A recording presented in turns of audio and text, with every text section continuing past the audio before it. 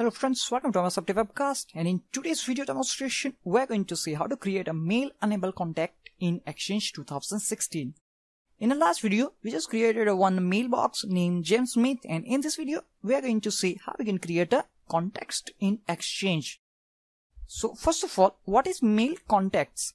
Mail contacts is a context that contain information about people or organization that exist outside an Exchange organization and that have an external email address. In a simple word, we can say mail contacts are nothing but mail enabled directory service object, which contains the information about the user which exists outside or external of the exchange organization. Each contact will have an external email address and the email sent to the contact will route to this external email address.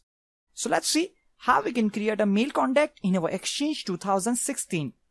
First of all, you have to open Exchange Admin Center and once you open Exchange Admin Center with appropriate credential, on a recipient tab, click on contacts and right now we do not have any contacts in our Exchange. Click on plus sign and from there select mail contact. So in a new mail contact windows, provide the name, display name, alias, external email address and select the organization unit and click on save. So as you can see, already I provide the uh, all the details. The username will be JS Modi and the display name is JS Modi. User's external email address is js.modi at hotmail.com. And just click on browse to select the destination OU where we want to store this Active Directory object. Select users, click on OK and click on save to create the new mail contact. And that's it. As you can see, we have a one uh, contact name JS Modi. And as you can see, the contact type is mail contact.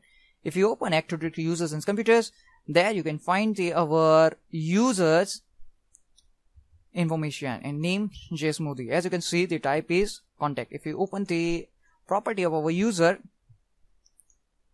you can just find the information. Normal information is there. User name and user's email address. Now address, telephone, organization, and just a member of.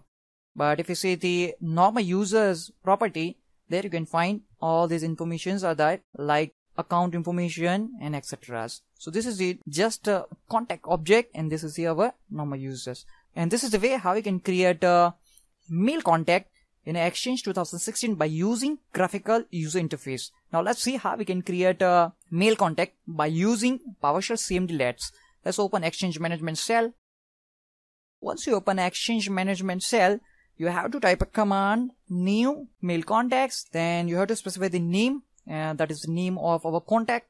Let's specify the name contact one for just for demonstration purpose and let's specify the external email address contact at test123.com now let's specify the organization and we want to store under our users container. Just hit enter and here we go. We have a new mail contact name contact1 and the alias will be contact1 if you click on our users and computers and just refresh it we'll see there is a contact1 and it is a contact type. Let's come back on our uh, exchange admin center. On exchange admin center click on refresh. And here we can see we have a contact1 and the email address of our contact is contact1 at test123.com so this is the way how we can uh, create mail contact in Exchange 2016. And that's it for this video demonstration. Thanks for watching this video.